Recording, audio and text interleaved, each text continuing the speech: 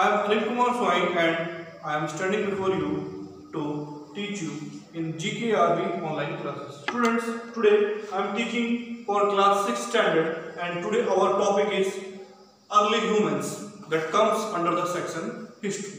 Students, before this there is a chapter called when, where and how. It means that from when or from the origin of the history and where we can find the different sources regarding history and how, how it could be formed. In the first chapter, if we will uh, take a detail, then we will know that what are the different sources from which we can know the sources of history. And the first one is archaeology. Archaeology students, I have told you earlier that it is a study of the remains of the past, especially about the things which we get after extraction from the ground. It may be of different types. It may be in the form of stones, irons, copper plates, and uh, some remains of the animal bones, human bones, and etc. etc. So, by coming to the topic early humans means we'll know about the how human beings originated. What was the origin of the human beings? Students, we all know that the time, or the present time, what we are in, sta- or in standing now is not the same position what the early humans were. Do the human beings at that sort of time in the primitive area, primitive era, they were going to were they going to school, were they going to offices, or were they eating the same food what we are eating today? Were there roads, school, colleges, buildings, vehicles? Was, was it present at that sort of time? No, it was not like that. So we will study in this chapter in detail that what was the situation like. So as the chapter suggests, early humans, I have uh, written some topics here. What are the topics to be covered in this chapter? The first one is Stone Age. Students, then types. What are the types of Stone Age? Or in which categories the Stone Age can be divided? Then human evolution. How the human beings have been evolved. What was their reason? How, from where they have come from. Then Paleolithic age. The first type is the Paleolithic age. Then in that era, the discovery of fire. What are the types of tools they were using, and what are the society? How are the lifestyle? That we will study in this topic Paleolithic age. Then two places, especially the Mungshi, situated in present-day Karnataka, and Bhimbetka. These are very prehistoric and primitive places. So in Madhya Pradesh, this is situated in Madhya Pradesh. By studying, or we will do a case study of these both these places, then we will know that what type of cave paintings, tools, or etc. etc. we have got from these places. Then the last two topics is the second other two types of Stone Age. That is the Mesolithic age and Neolithic age. Students, then we know that archaeology is the main basis by which we know about our prehistoric times. That's the only source. We can't say that geography and civics tells us about history. No. Archaeology tells us about all that. Then, what is Stone Age? Students, we all know that the Stone Age is divided into three categories. What are they? The first one is Paleolithic Age. Students, you please look at the board, then you will know that the Greek words paleo, it means old, and lithos means stone, is called the Paleolithic Age. Means it's also known as the Old Stone Age. And there are some subpoints also. It lasted about 10,000 BC. Means near about 12,000 years ago, the people, the early humans existed. They were living. And next, it's also divided into two groups or two uh, stages. That is the early middle Paleolithic age and the late upper Paleolithic age. So it has been further divided into two. Then students will come towards the next, that is the Mesolithic or Middle Age. Here, as Paleo stands for old, here Meso stands for middle. It lasted about 10,000 BC till 8,000 BC. Then, in that era, the stones were called as microliths, and the stones were used for different purposes, like uh, lighting the fire and tools and making different uh, cave paintings, wall paintings and different types of things they were making. You can see ornaments also by carving the stones. So This is the Mesolithic age and the last one is the Neolithic age. Students, now we will go through the third category of the Stone Age that is the Neolithic age or the New Stone Age. Students, uh, in a few minutes ago, now I have told you that the meaning of Paleo means old and the Meso means middle. Now the Neo means new. That is why it is written as New Stone Age. It settled around 10,000 years ago to around 4,000 years ago. This was the time when people began to grow crops and settle down. And then we will come to the topic human evolution. That how human beings evolved. Students, we know that the scientific name of the human beings is the Homo sapiens. Students, human evolution. Evolution means students that what was the process? What was the uh, thing? What what made it uh, forcefully to the origin of the human beings? Humans did not always look the way we are standing here. We are seeing. They were different. We can see. Uh, you can have a look at your textbooks in page number S11. The stages of human evolution. How they bended. They were walking like animals by by both their hands and legs they were using that is called the hominins we'll study further that there was a whole process of evolution that took place for us to be the way we are the evolution of humans from apes began millions of years ago. At the earlier stage humans walked on all four means two hands and two legs and that were called the hominins students uh, look at the word hominins. It means it means the human being walked on all four by two hands and two legs but as the time passed by they became bipedal. Friends look at this word bipedal. It means they knew the art of walking. By that is they started walking on the two feet and eventually upright. They stand upright like we are doing now. That is called homo erectus. This left their hands free to use their new activities they were capable of doing the increased hand-eye connectivity or activities led to the larger and more developed brains. As the time passed by they knew the art of living. These physical features made from different uh, from other animals they made them different because human beings were not animals. What the animals can do we are more advanced than them.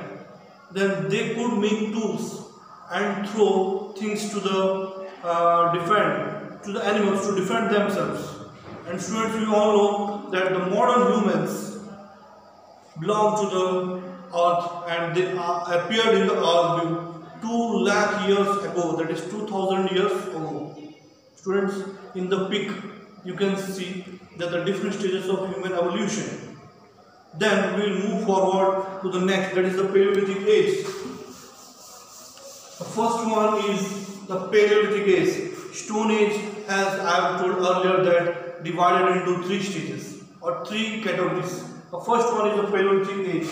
And in that stage in the paleolithic age how the human movement was going on. Here i have um, written the topic paleolithic age. Then in that area in that section we'll first read human movement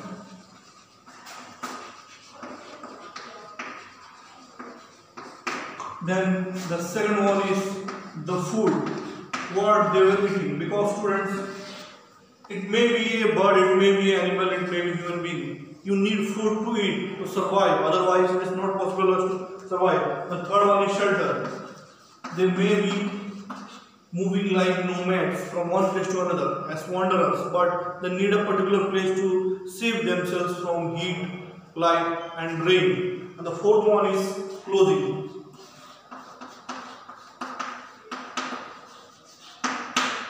what were the clothes? The first we will study about human movement. Early humans kept moving from place to place. They used to move in search of food. When they had plucked all the flowers or all the fruits and killed all animals in one area for eating purpose, they moved from one place to another in search of only food. And they always searched a place where water supply was available, means near the rivers, near the lakes, near the streams, because we all know that water is an essential element for survival of, of the human beings and animals also. When animals came nearby the river to drink water, they hide in one place and they tried to kill them. And that was the method for them to kill all the animals and uh, eat them. Since animals also came to the river to drink water, hunting became easier for the human beings. Next, the topic is food. What was the eating? Students, now we are eating some foods very cooked, baked, we are eating uh, large quantities of spices, uh, salt, sugar, everything, oil also, but this was not available at that primitive era. So what were they eating? The humans of the old stone age were hunters and food gatherers. Means they just hunt animals, they ate them in a raw, in a raw manner and they move from one place to another and gather all the foods. They did not know how to grow crops at that sort of time. They were not farmers. Their food consisted of nuts, roots, fruits, eggs and raw flesh of animals. From some of these cave paintings, we can know that the hunting scenes, that what they were doing and how which animals may have existed in that region. So, we know to express our feelings, we do one thing, we write somewhere, we draw something. So, at that sort of time, the primitive man or the early humans draw in their cave paintings or walls. The next comes the shelter. Early humans did not know how to build houses. They took shelters on trees and later on in caves to protect themselves from wild animals and elements of bad weather, like rain and sun. The last one is clothing. What were they eating? We knew. What were they wearing? We must know that early humans' clothes were made up of animal hides, animal skin, and barks of trees to save themselves from one uh, from bad uh, elements of the weather. Next, students will study about the discovery of fire. Students, then after studying all that, we'll study about the discovery of fire. We all know that fire is one of the five elements of the planet Earth, along with air, water, soil, Fire is one of the five elements. We know that how the early humans knew that the fire is an also an element. How they discovered it. So students, we must know that it the discovery of fire was very accidental. They didn't knew about it.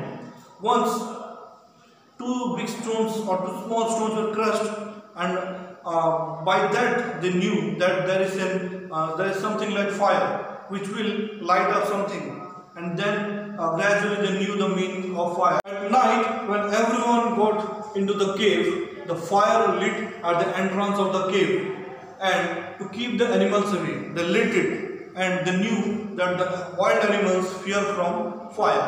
Therefore, they knew that the use of fire was a very important invention in their lives. They may have lit fire on cold winter nights to keep them warm. Later on, they began to roast the meat from animals they hunted. Once, accidentally, when the fire was lit nearby, a piece of flesh fell over it and when they took it out, they knew that it was roasted and it tasted very good. Then they knew that we can also cook food on fire. Then it is possible that when some people in the group went out to look for food, others stayed back and in the cave to look after the fire. This was the whole story about fire, the discovery of fire, then social life. What was the social life at that sort of time? Early humans formed small groups or bands to protect themselves from wild animals. They lived a nomadic life in search of food. We do not know exactly what work was done by men and women. Although there were no family ties, but it is quite likely that the younger men went hunting and while the older one stayed in the cave to keep for fire burning and the women looked after the children and they were engaged in painting the walls and they did the cooking also. Students, now we move to the, the next topic is tools. Tools here is divided into two parts, core tools and flake implements. Students, there are two parts, the core tools and the flake implements. What were the different types of tools they were using? They were only one element they were used to, that is about the rocks. They didn't know the use of the iron was not present at that sort of time in the primitive era. So these were made with the core method. The core tools were made with the core method. That is, they were made by chipping away portions of a piece of rock till they were in their desired shape. They were very sharp and that was used for cutting and digging in the field or in the soil. The second one is flake implements. What was flake implements? These were made with the flake method. Means this method involved cutting off large flake from a rock and then shaped into a tool. These were used for chopping meat and pieces and skinning dead animals. So there were different types of tools, students, core and flake implements and their uses were different. Then students will learn about two different places according to this topics to be covered, Humsi and Bhimbetka.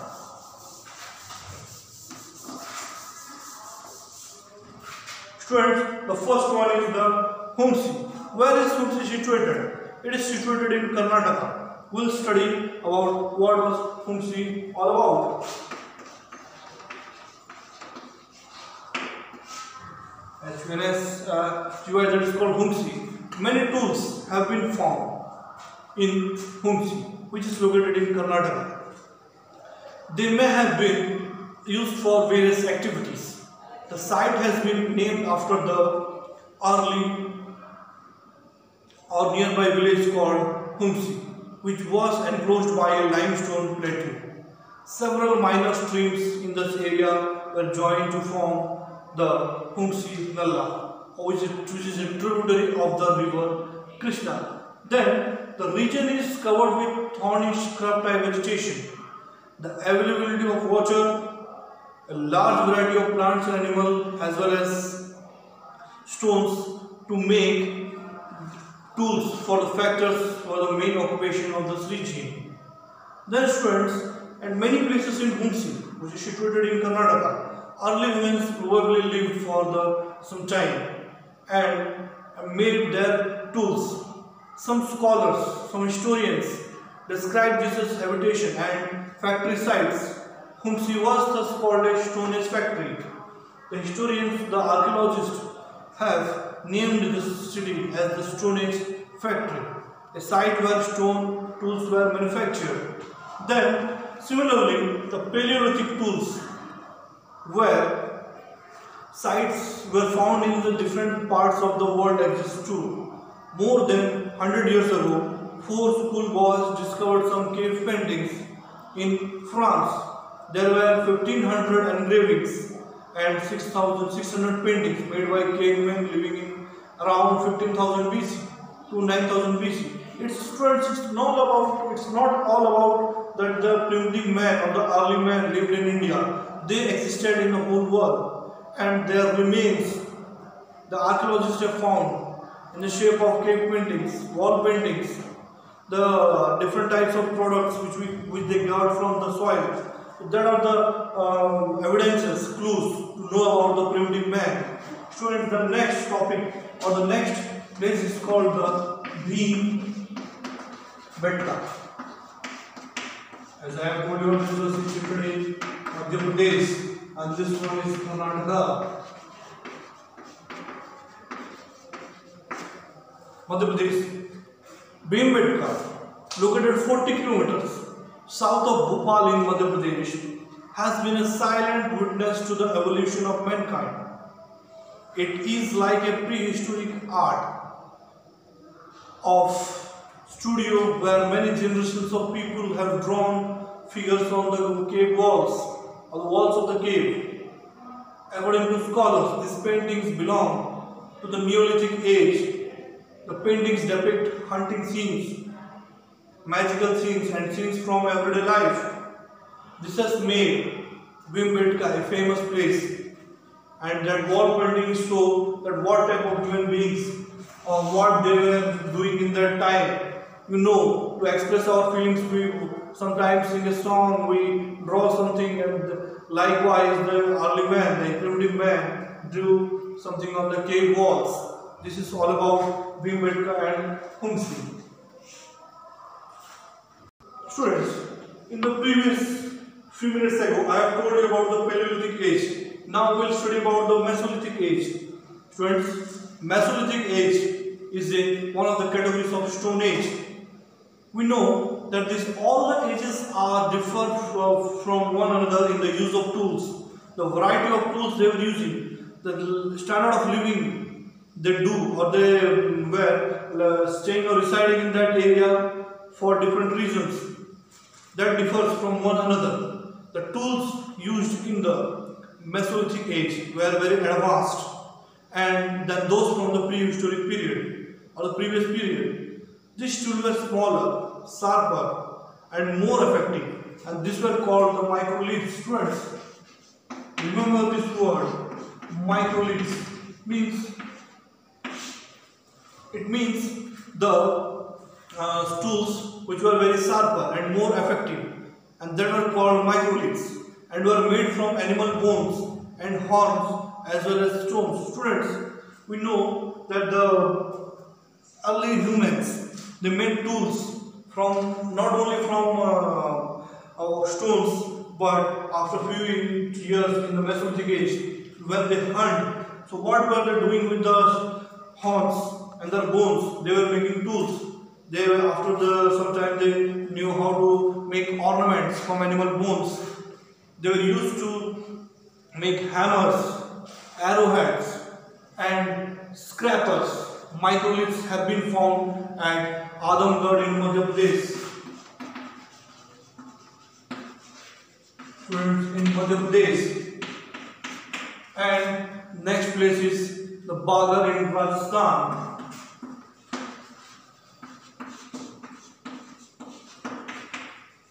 Then there is that these two places, their remains have been found. If you visit some places like this, then you can know about the primitive area, primitive life, what the early humans were living. During this age, people started living in simple houses. They knew how to make houses. However, most people continued to live in caves.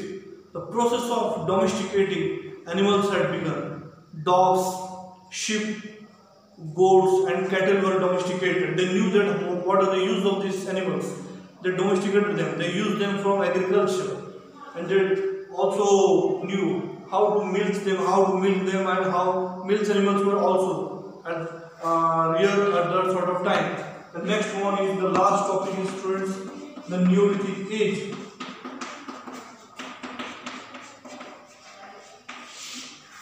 The new here the word new means new technological developments. What were the technological developments in that era?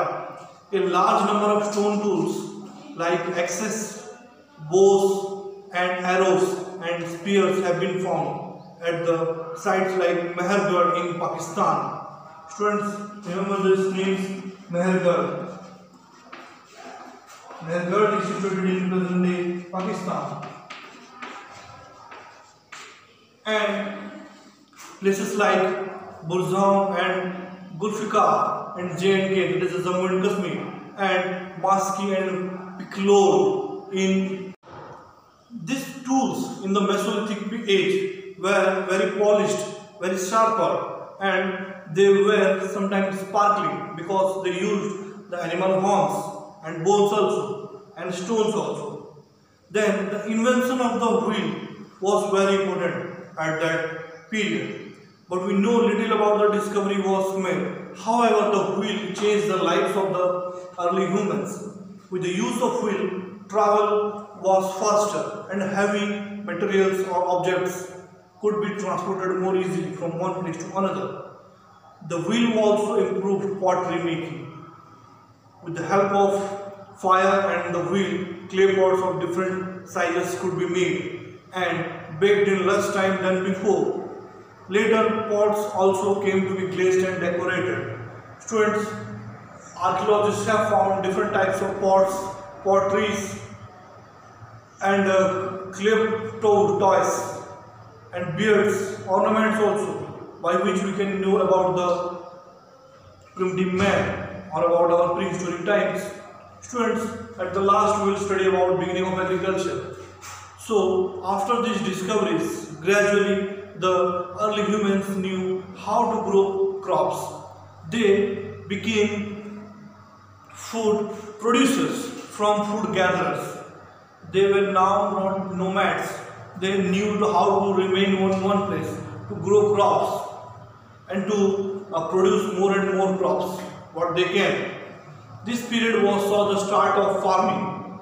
It is possible that thrown seeds may have sprouted and plants grow from them and humans of the Neolithic age noticed them. After eating the fruits, they throw the seeds in, uh, in somewhere like uh, in the soil and the use the continuous use of water sunlight after the plants will grow from that place and after seeing that they noticed that how plants were grown. With this, the early humans went from uh, being hunter-gatherers to cultivators, which I have told you earlier. Sickles were found at many sites suggesting that harvesting of crops was done and this change also allowed for a more sedentary lifestyle and from simple to little advanced lifestyle which no longer was there for the need of nomadic lives. It is possible that a division of labor slowly began. Men took care of agriculture hunting and weapon making, while women would perform some duties to look after the house and children. We'll learn about the early farmers in the next chapter. And students, I hope you have understood the chapter very well. And one more request I want to make, wherever, when you are going through this video, please refer the textbook, then only you can understand it clearly. And after this, I will tell you uh, goodbye, stay safe and stay in your home. Thank you very much.